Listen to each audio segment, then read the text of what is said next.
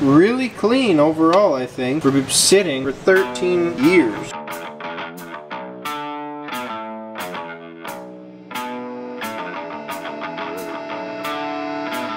Leroy, stop eating the snowmobile. So, yeah. So this happened somehow. My dad's abandoned 1987 Yamaha Exciter. Dude, it gets me excited.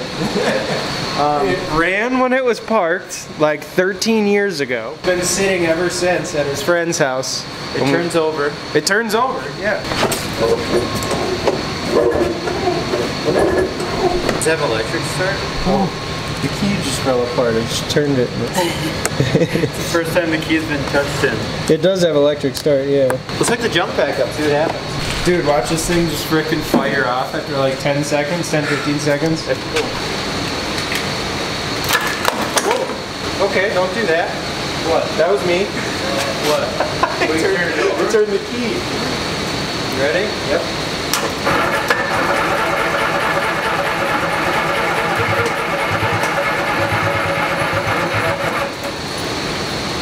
Like, almost sound like it fire over though, didn't it? I'm gonna take the spark plugs out and see what they look like. So, uh, they're pretty damn clean. 13 years of sitting. Give them the old scrape or do or scrape or don't, you know? They're fucking...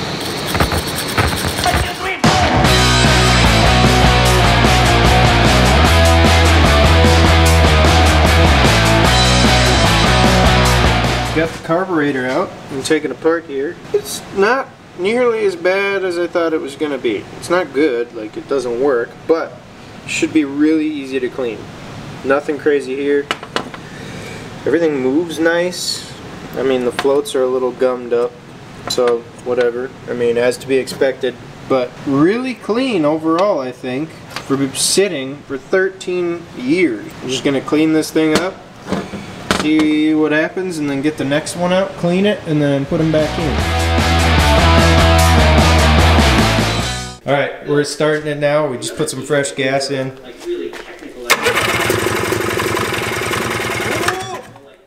Choke? Hang on, hang on, hang on, hang on, hang on. A little gas.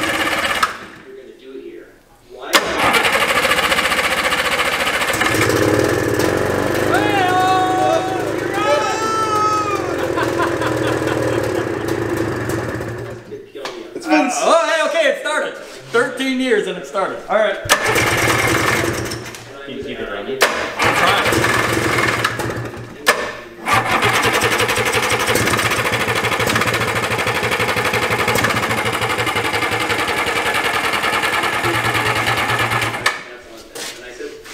I'm holy smokes. Maybe flutter a little bit.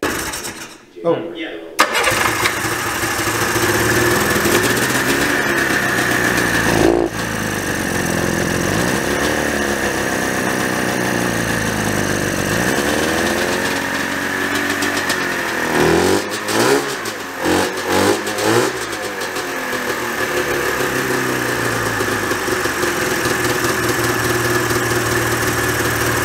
we have a running driving snowmobile. Well, we don't know if it drives.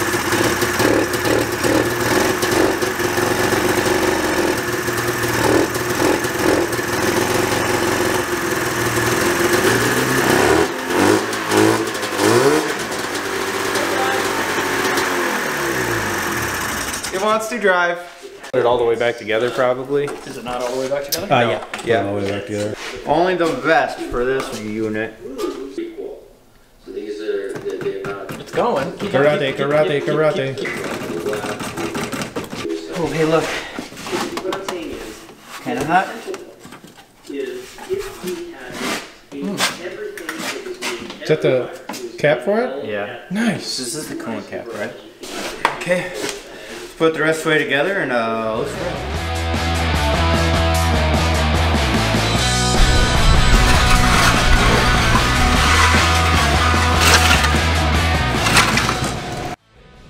roll. Okay, this is gonna be the first run of the snowmobile in 13 years. We'll see what happens.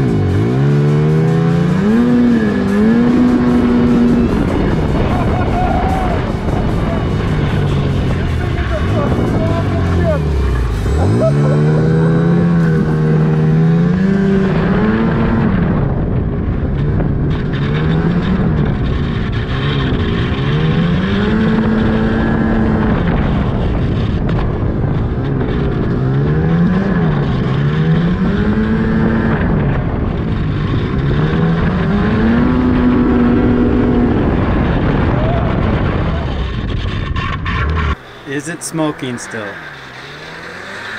Mm, not really.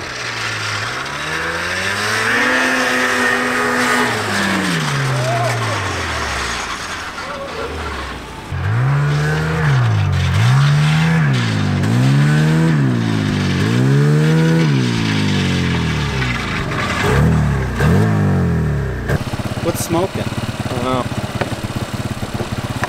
The exhaust. It's a, oh, it's a coolant that on the exhaust when you're okay. overfilling it.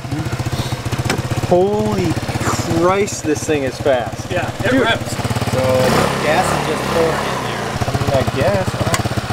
Because the ignition's working. Everything works. It's like the throttle's like stuck like So I fixed the sled. I figured out what was going on. The throttle cables were pulled really tight, so the actual like needle in the car wasn't going down all of the way. So that's why I had to run it with the kill switch because it would rev out and I would have to kill it because it wanted to go a bajillion miles an hour. I had to kill it, obviously, so I didn't go a bajillion miles an hour and kill myself. What I did was get the throttle cable sorted out pulled it a little bit, gave it some extra slack, and then got the carbs back in. I cleaned them again, cleaned them up a little more, got the jets, made sure that they were those were really clean, and thing runs good now. It idles nice. It doesn't want to go through the wall when you start it. Let's see if we can get it started. Choke, kill switch. Let's see if the battery will do it. Yeah, look at that. Starts right up. Idle's nice.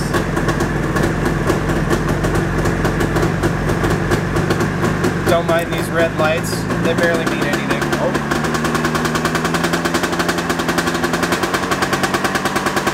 Save's doing it.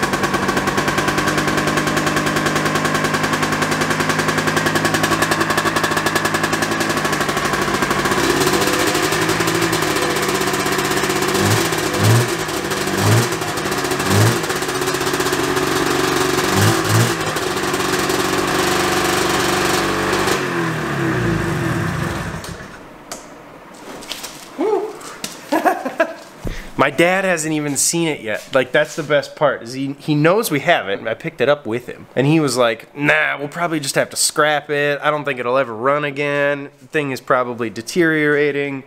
It took me a couple hours of work to get it going. He knows it runs, but he hasn't been around to see it yet. So that might be in another video. I don't know what that's going to be like considering this is I think his first snowmobile and obviously his only one. We haven't had another one since. And he just kind of forgot about it and let it go. So I can't imagine what that's. I mean, is it going to be like reuniting with a childhood friend? I don't For him, more so than me. Unfortunately, for you guys, we have this slight issue. There's just not enough snow. Enough snow for us to go do anything with it yet. If you enjoyed this video, if you want to see more of this sled running, which you probably going to want to because it's going to be awesome, please don't forget to like this video, comment, tell us what you think about this sled. Have you ridden an old sled? That's a better question. Or the sled that you do have, tell us what it is. Why not? It's the season for snowmobiles. So make sure to like, comment, subscribe if you haven't done that yet. A lot of the people that watch these videos, guys, if you see this, chances are you're not subscribed. We get a lot of people that are like new viewers that come to the channel but they don't subscribe. So we would really appreciate it. We're trying to grow. It's gonna take you guys to help us along the way. Until next time, guys, thank you again for the views. We'll see you soon.